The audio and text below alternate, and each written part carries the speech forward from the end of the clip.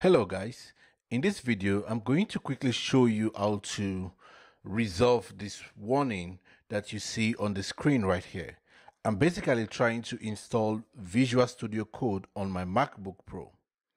And then I get this warning that this app cannot be opened on my MacBook Pro because Apple is not able to actually check if it is a malicious software. And the reason why we are saying this is because we have security and privacy control enabled.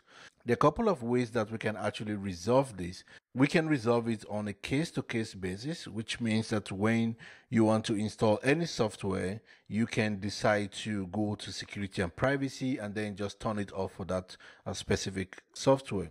And we can do that basically by going to uh, preferences. You can go to system preferences and then go under security and privacy.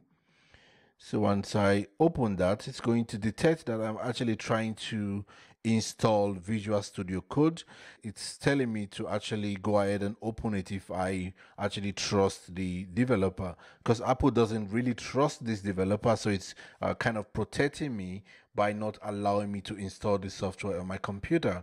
So I can decide now to click on open anyway, and then it will actually uh, allow me to now install Visual Studio Code and that will be specific to Visual Studio Code. But if you want this to be a one-time solution for any application that you want to install on your MacBook, then we have to do that in the command line.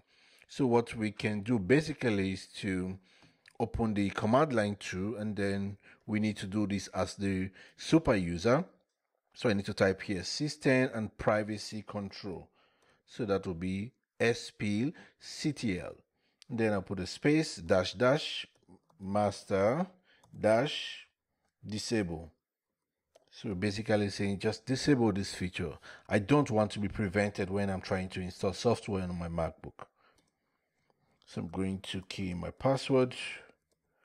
And if that is correct, we should have it disabled.